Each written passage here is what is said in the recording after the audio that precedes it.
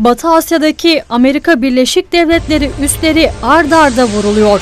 Amerika Birleşik Devletleri'nin Suriye ve Irak'taki üslerine 20 civarında saldırı gerçekleşti. Saldırılarda insansız hava araçlarının yanı sıra karadan karaya atılan mermiler ve roketler de kullanıldı.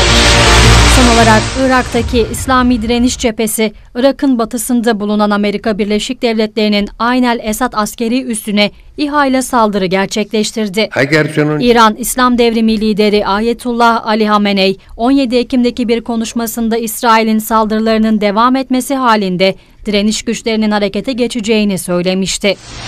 İran Devlet Televizyonu 19 Ekim'de İsrail'in Gazze'ye saldırılarının durdurulmaması halinde Tahran'ın direniş güçleri olarak adlandırdığı bölgedeki müttefikleri tarafından nasıl saldırıya uğrayabileceğini anlatan bir haber yayınlamıştı.